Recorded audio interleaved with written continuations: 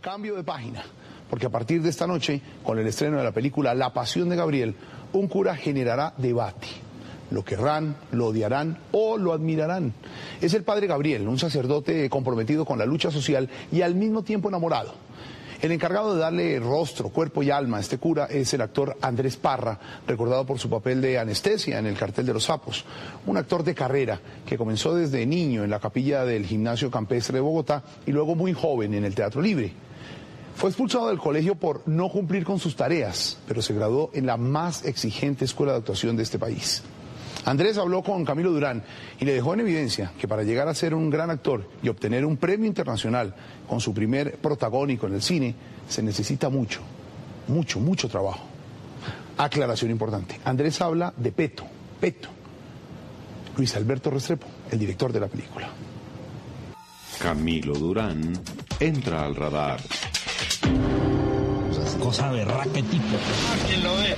Y trayendo diversión al trabajo. No busquen la eternidad entre las cuatro paredes de una iglesia.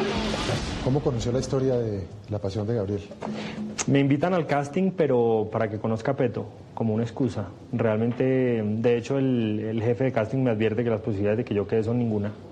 Que no vaya con ninguna expectativa de nada, porque están buscando un actor atlético, alto, moreno, un poco indígena.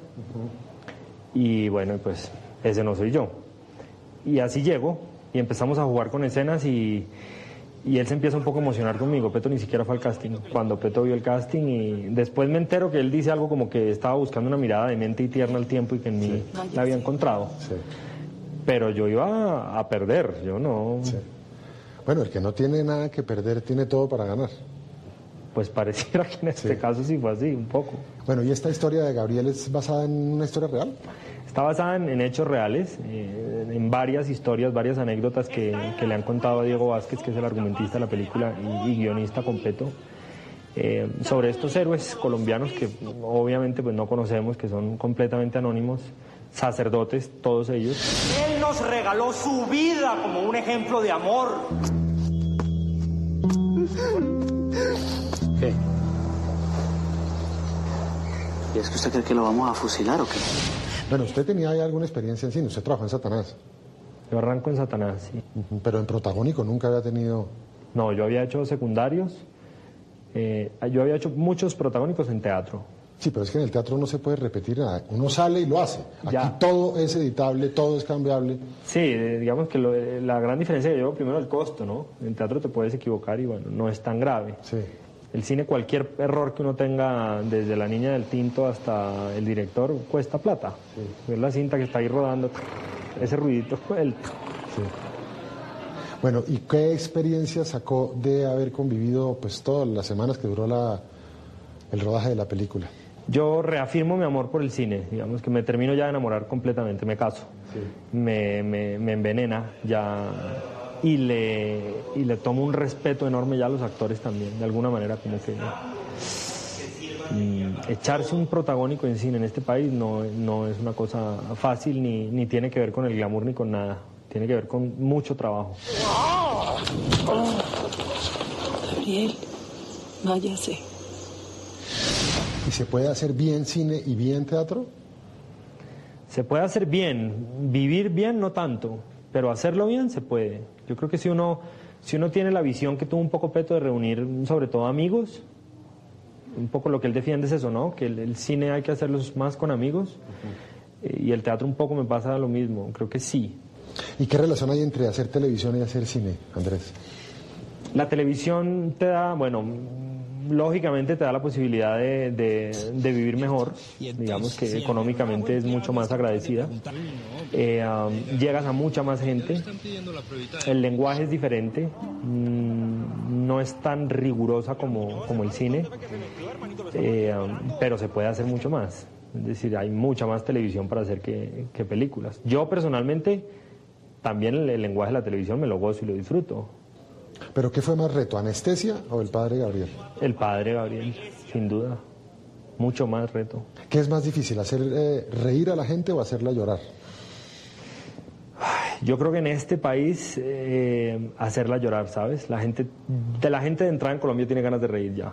Están hasta acá de llorar.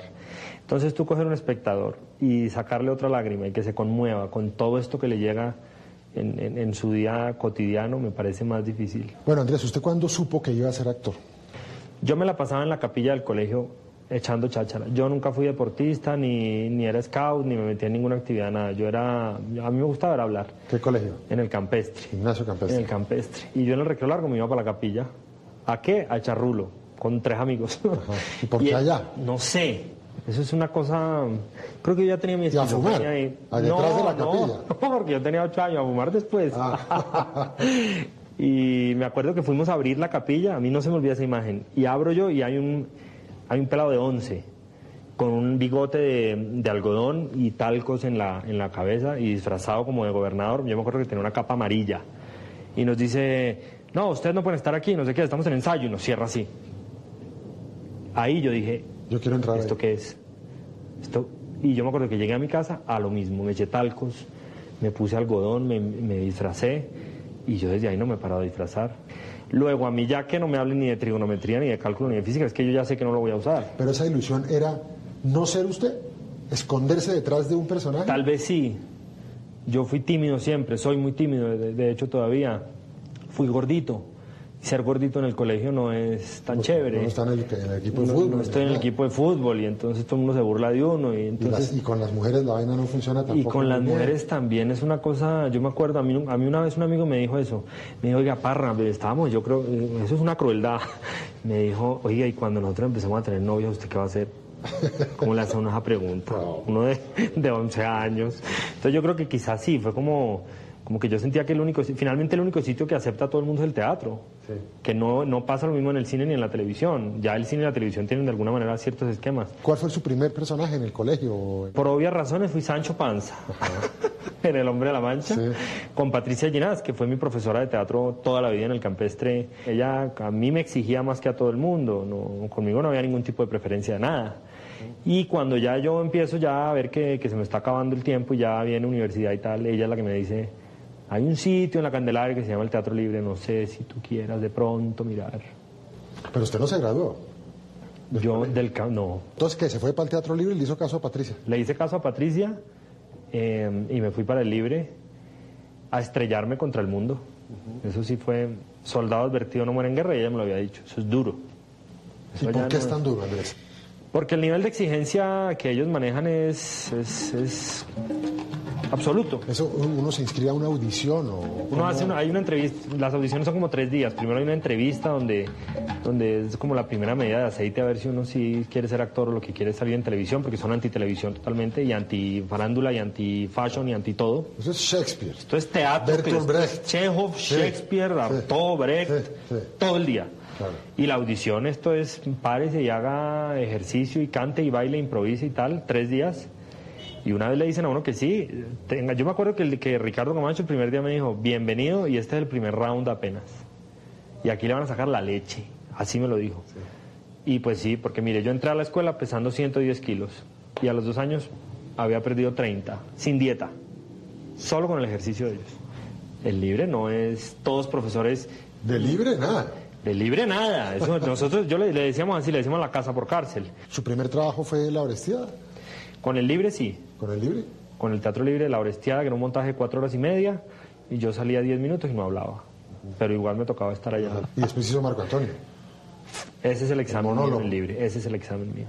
Ese es un personaje que yo recuerdo mucho porque, porque es un monólogo muy famoso. Es el monólogo, de los monólogos más famosos de la literatura universal. Y, y muchos actores lo, lo utilizan como ejercicio para probarse. Fue el monólogo que llevó a Marlon Brando, uno de los, de los ejercicios que él hizo que lo llevó a la fama con la película de, Julio César de la BBC. Y me lo dan a mí. Y pues tomates no me echaron, yo no sé qué habrá pasado, pero a la casa no llegué untado. Bueno, y cuando le ofrecen el trabajo de, de mm, Satanás, de alguna manera no estaba traicionando todos los principios del teatro libre de, claro, otro que le pegan el bicho de la televisión, otro que se quiere volver famoso. ¿Eso cómo se Claro. maneja? Pues no. O sea, ¿usted pues, es un renegado para los teatreros sí, puros? Sí, yo me imagino que sí, claro. Para los puros, claro. Eh, eh, no estamos dejando de ejercer un tipo de prostitución, que es esta. No tanto el cine. El cine no tanto. La televisión sí la ven como lo... El chicle. Sí, eso sí es lo peor, que la muerte de nosotros, la muerte. Pero bueno, yo, yo también quería vivir de esto. Bueno, Andrés, pues mucha suerte, eh, muchas felicitaciones por este premio que recibió en Guadalajara. Estas son, obviamente, reconocimientos y estímulos que le sirven a uno para seguir creyendo en lo que hace y esperamos volver a conversar con usted y volver a celebrar nuevos éxitos. Ojalá, aquí estaremos, seguro. Mucha suerte para Andrés, para Peto, para los actores en la pasión de Gabriel y ojalá los colombianos apoyemos nuestro propio cine, no solo porque es nuestro, sino también porque es bueno.